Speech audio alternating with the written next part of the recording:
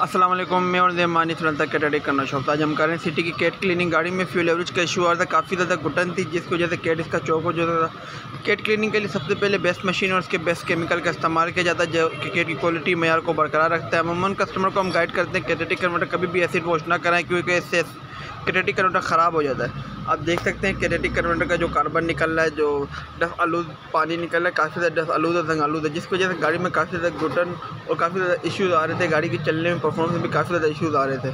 कैटेटिक converter की cleaning के बाद जो गाड़ी में साउंड का इशू जो गाड़ी में फ्यूल एवरेज का इशू होता है, तमाम इशू रिजॉल्व हो जाते हैं, गाड़ी के चलने में परफॉर्मेंस में भी काफ़ी ज़्यादा बेहतरी आती। है आप देख सकते हैं जो कैट का कार्बन निकला, काफ़ी ज़्यादा डस्ट आलूद है। इसके अलावा हमारे पास होंडा के बैन न्यू डब्बा पैक कैटेटिक कन्वर्टर की भी रेंज मौजूद है, और उसके साथ साथ हमारे पास होंडा सिटी के ओरिजिनल कैटेटिक कन्वर्टर भी मौजूद हैं। आप हम हमसे किसी भी कैटेटिक कन्वर्टर की मालूम के लिए हमारे दिए गए नंबर पर रब्ता कर सकते हैं या हमारी वेबसाइट या हमारे पेज पर विज़िट करके हमें ऑर्डर दे सकते हैं। शुक्रिया।